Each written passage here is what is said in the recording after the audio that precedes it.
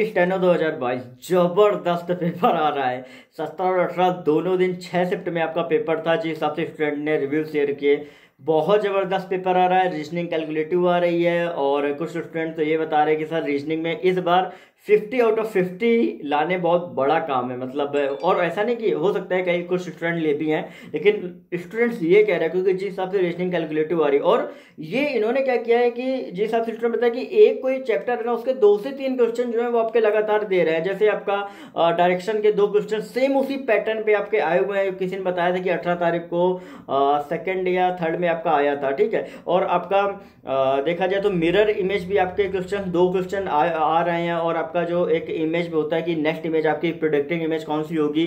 साथ ही आपका statement and conclusion के लगभग तीन से चार क्वेश्चन आप कह रहे हो क्योंकि स्टेटमेंट कंक्लूजन में अलग अलग टाइप कह रहे हो थोड़ा कहीं ना कहीं वो कंफ्यूज कर रहे हैं। और इसके बाद आपका सीटिंग के भी आपके आ रहे हैं सीटिंग में रेक्टेंगुलर बैठे हुए हैं, फिर आपका स्ट्रेट में भी बैठे हुए हैं सर्कल में भी ऐसे दो से, दो क्वेश्चन दो से तीन क्वेश्चन आप कह रहे हैं, लेकिन एक क्वेश्चन जो सबसे ज़्यादा स्टूडेंट कह रहे हैं कि जो आपका तीन उसमें दिए गए थे, तीन नंबर्स थे, जैसे एक जैसे लिखा हुआ है, तीन इकसठ कॉमा दो इकसठ कॉमा एक तेरह, इस तरीके से सेकेंड में दिया गया था थर्ड वो करना तो इस तरीके के भी क्वेश्चन दो से तीन आ रहे हैं, फिर फाइंडिंग्स के भी आ रहे हैं, फिर अल्फ़ाबेटिकल में तीन तीन आपको दिए गए हैं उनमें बताना है कि आपको ऑड इवेंट कौन सा है, ठीक है? वो भी क्वेश्चन आप सभी के आ रहे हैं। तो ओवरऑल अगर हम देखें तो रीजनिंग आपकी काफ़ी टाइम टेकिंग आपकी आ रही है और एक चैप्टर से लगभग दो से तीन सवाल आपके दिए जा रहे हैं एसएससी स्टेनो में।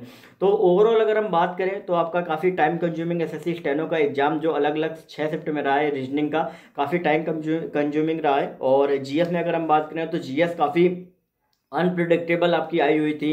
पॉलिटी में आपका कभी योजना से पूछ रहे हैं, चिकमंगलूर कहाँ पे है? और जनगणना से रिलेटेड आपके क्वेश्चन एक दो थे, और इसके अलावा आपका करंट जो था वो एक बार, एक दो क्वेश्चन आपके जुलाई के, दिसंबर के पहले पहले थे, जुलाई के टाइम के आपके करंट के अफेयर थे। और बहुत से ऐसे क्वेश्चन आपके जीएस में अनप्रिडिक्टेबल आए थे, कुछ दो तीन क्वेश्चन ईजी थे, सिर्फ़ दो तीन क्वेश्चन ही थे। और आपके डांस आए हुए थे, और ये गिटार या संगीत कौन बजाता है पर्टिकुलर पर्सन कौन है, ये बुक किसने लिखी है। इस तरीके से भी क्वेश्चन जीएस में आए हुए थे। हालाँकि इंग्लिश का लेवल जो था, वो ठीक था। बट जैसे कंप्रेंशन की बात करें तो कंप्रेंशन में आपका क्या था? एक हिस्टोरिकल उस पर आपका आ रहा था।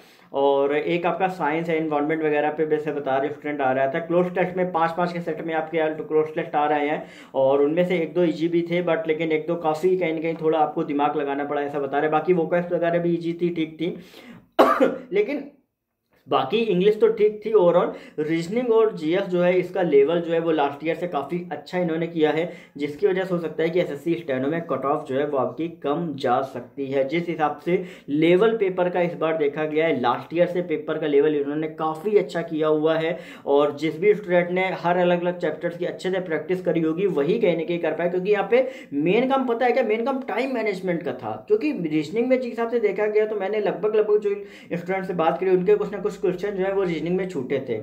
अब लेकिन देखते हैं कि बाकी जितने भी टॉपर्स स्टूडेंट जो 2020 में आपके रहे, उनका क्या रिव्यू रहा है वो भी मैं आप सभी से शेयर करूँगा कि उनका क्या रिव्यू रहा है। इस एग्ज़ाम के बारे में जो इस बार सत्रह और अठारह को अलग अलग छः शिफ्ट में आप सभी के एग्ज़ाम हुए हैं। क्योंकि मेरे हिसाब से कि काफ़ी इंप्रूवमेंट आपको सी में भी देखने को मिला स्टेनो में भी देखने को मिला इवन सी में भी आपको देखने को आगे मिल सकता है और जिसका पूरा पूरा आपका इफ़ेक्ट जो है वो आपका सीधा कट ऑफ़ पे ही पड़ेगा लेकिन फिर भी जैसा आपके आंसर की जो है वो आप सभी की लगभग बाईस या तेईस को आप सभी की आ जाएँगे तो आप सभी एक बार देख के अपने मार्क्स ज़रूर शेयर कीजिएगा। मैंने अलग से वीडियो बना दिया है और वो आपको कहीं ना कहीं उसमें आप ज़रूर अपने मार्क्स आप कमेंट करिएगा, जिससे कहीं ना कहीं आप सभी के लिए बहुत आसानी होगी एक एक्सपेक्टेड कट ऑफ़ कंफर्म बताने में। साथ ही वीडियो को शेयर ज़रूर करें वो वाला जो, जिससे जितना ज़्यादा डेटा आएगा ना, उतना ही ज़्यादा आप सभी के लिए बेहतर रहता है ओके